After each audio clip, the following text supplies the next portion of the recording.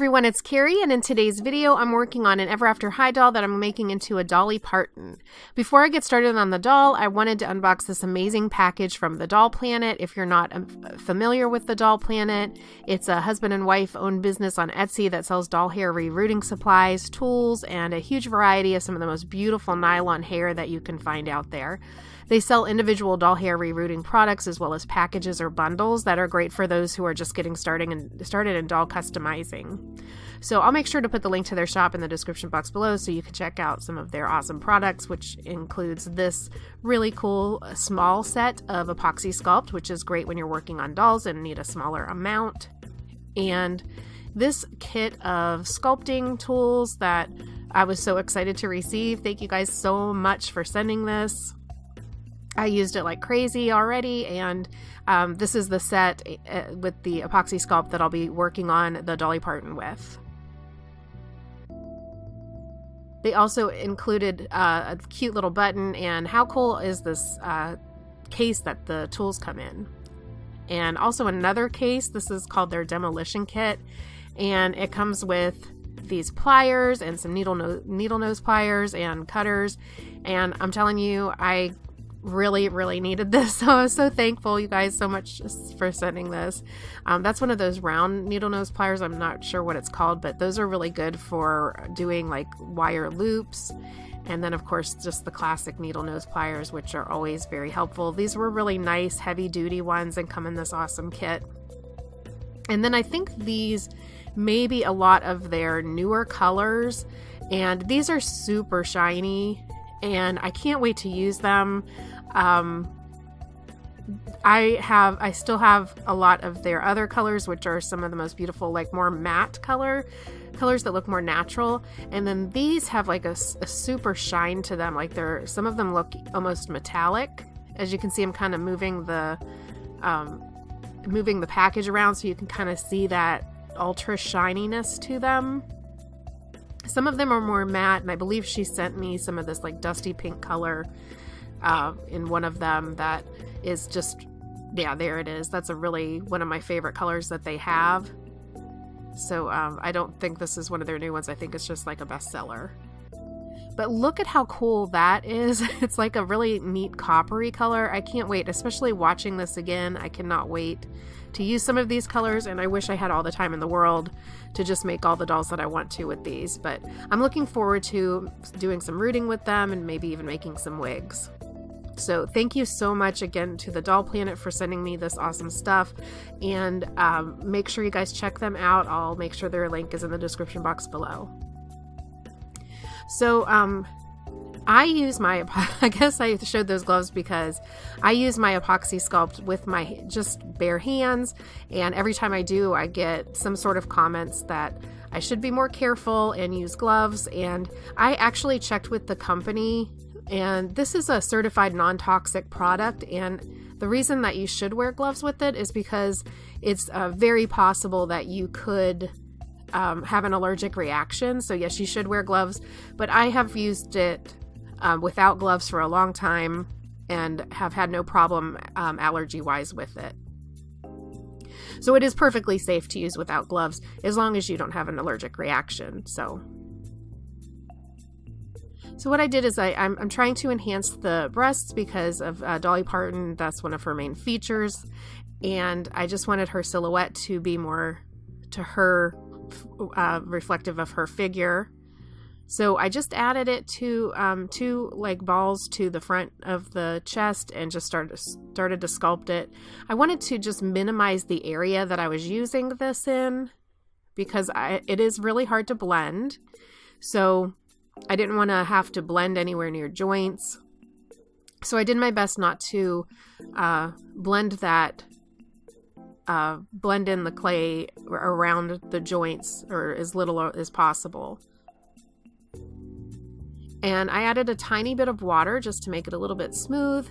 And then the sanding. The sanding just is um, the main part here. I just sanded it down to just make sure that they were like perfectly round and um, and did some wet sanding until they were nice and smooth. And so then you can see the dress that I made here just uh, I had to make the dress after I sculpted that so it would fit around her chest perfectly. So I just made a simple dress with uh, sort of a, a shark tooth.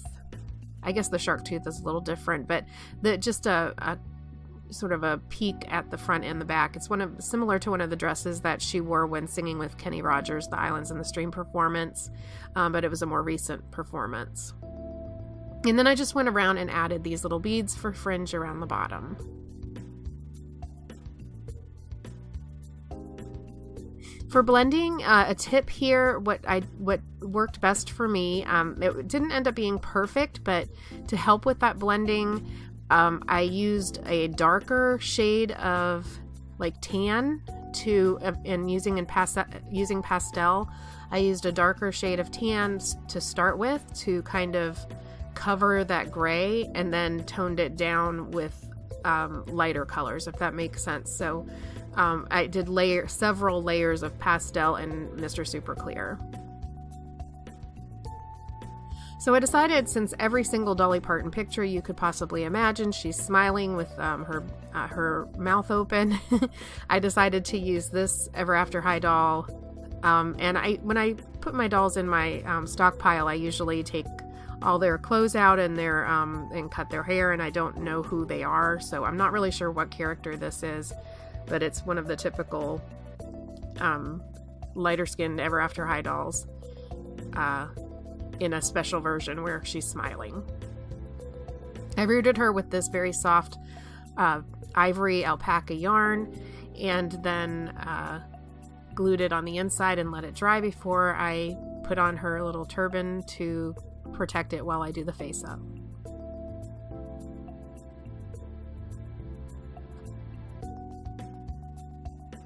For pastels, I use Pan Pastels, and all of the products that I use are listed in the description box below. Uh, also, a link to my Amazon storefront where you can uh, see the the products that I use along with a small description of how I use them. And I do need to update that, I'm sure, but the basic products should be in there.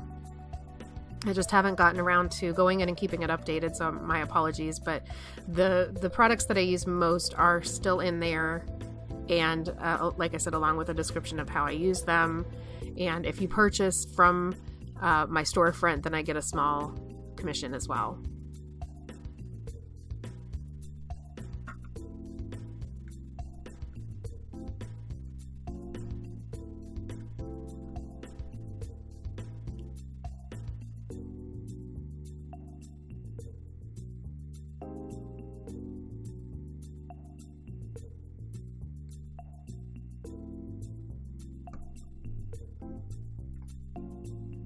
So at the time I'm making this video, this doll is sold.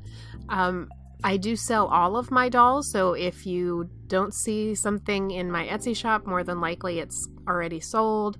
But um, I do uh, try to get, dolls in there uh, when I can.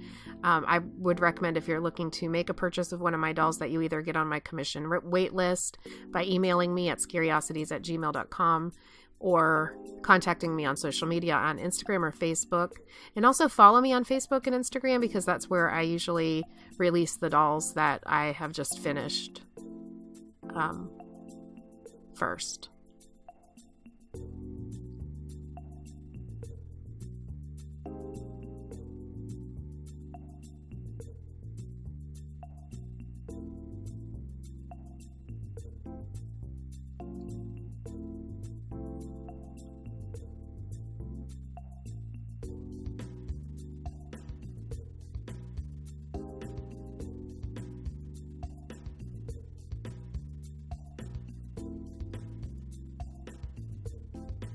Since I was wanting to be really precise with how I shaped her mouth, I drew it out with pencil first, which is a little bit different than how I normally do lips, which is where I start with pastel.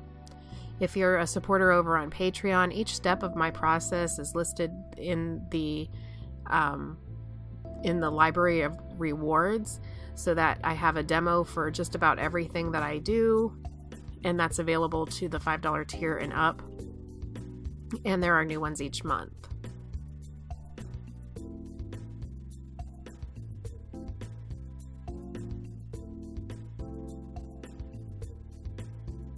And by the way, if you're interested in more in depth learning, I have classes over on Skillshare that are great for beginners who would like to learn by following along, like step by step, in easy to follow lessons. So the links to that and my Patreon are in the description box below.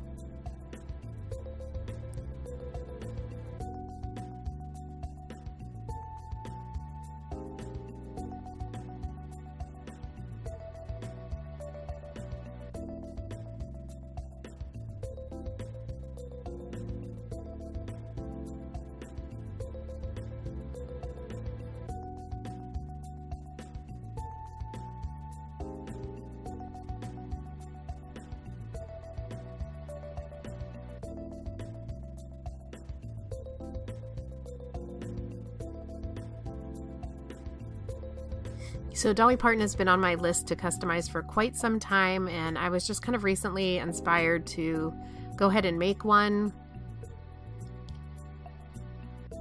So, I did her, I, I created this a month or two ago, I believe.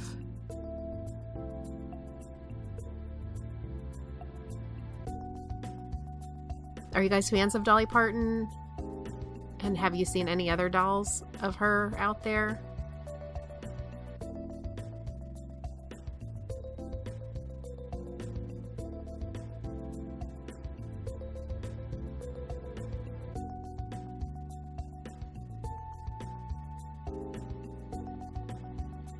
So a tip when I'm doing the eyeshadow is I use the pearlescent black because it comes out a little less harsh than just the regular. Uh, I'm using pan pastels here, but the pearlescent black isn't quite as harsh as the regular black.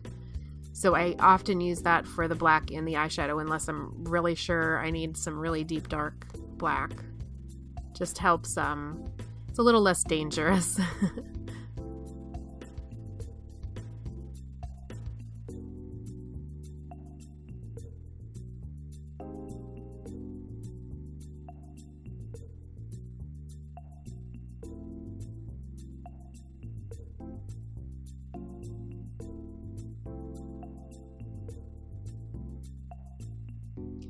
here I'm showing where I found her uh, eye color.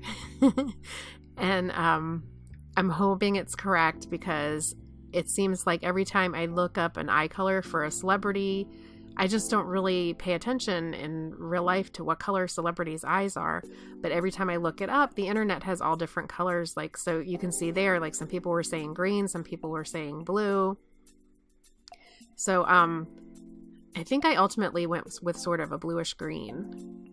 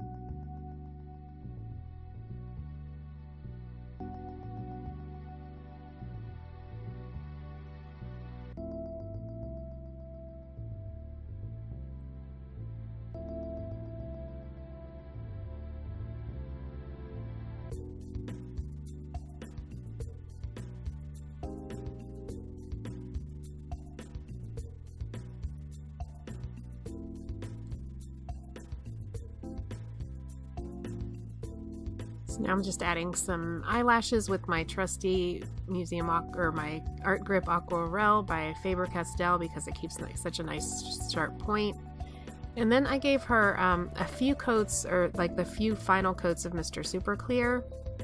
I'm often asked how to get the shimmer to stay and how I do that is I'll give her several coats and this is um if you're not following the Doll Artist Collective on Instagram for Tuesday tips, you may want to give that a try because this is where I got that tip is that you spray it with all your final coats of Mr. Super Clear and then like then you once you're you know you have it really nice and sealed, then you add some of the shimmer and then one last coat to seal in that shimmer. So then it's still a little shimmery and you haven't just dulled it out with that Mr. Super Clear.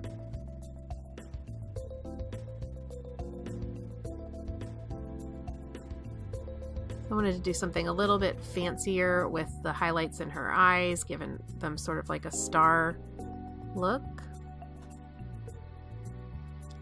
And then I gave her some gloss on her eyes and lips and some lashes to finish it off. I also did a couple little tiny highlights on her teeth. So I hope you enjoyed this video. If you did, I'd love it if you gave it a thumbs up and subscribe if you haven't already. Thank you so much for being here and extra special thanks to my patrons. I hope you all have a wonderful holiday season. Thank you so much. Bye.